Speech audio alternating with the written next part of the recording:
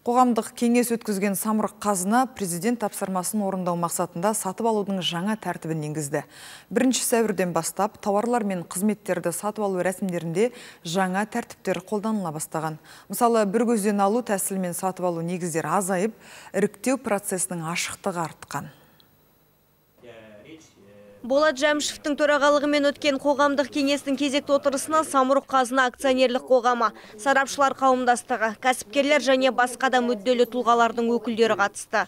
Тараптар қабылданған ережелердің іс жүзінде қалай жүзеге асырылып жатқанын талқылады. Закупки это та сфера, которая Тапсырмалар сатып алудың барынша ашықтығын талап ететін мәселелерге қатысты. Екінші жағынан Самұрық қазына ұлттық өнімді дамыту мен әлеуметтік жобаларды қолдауға да жауапты. Еркін нарықтық талаптар ашық процедураларды қажет етеді. Сондай ақ қолдау керек секторлар бар. Қоғамдық кеңесте қордың сатып алу тәртібінің нақты қалай өзгерген айтылды. Бір көзден алу тәсілімен сатып алу негіздері айтарлықтай қысқарған. Осы дөрістер негізінде отандық тауар өндірушілері мен шағын және орта бизнесті қолдау шаралары енгізілді.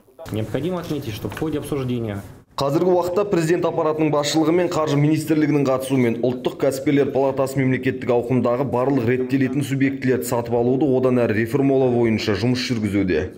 Жиында жылдың соңына қарай бақылау жүйелерін күшейту, конкурсқа қатысу кезінде құжат айналымын қысқарту, холдинг аралық сатып алуды азайту ұсынылды. Қоғамдық кеңес мүшелері сатып алу жүйесін одан әрі дамыту үшін ұсыныстар мен талап тілектерді ары қарай жіті қарастырамыз деді. Ақбота Базарбай, Нұркен Тоқморзин, Информбюро, Нұрсұлтан.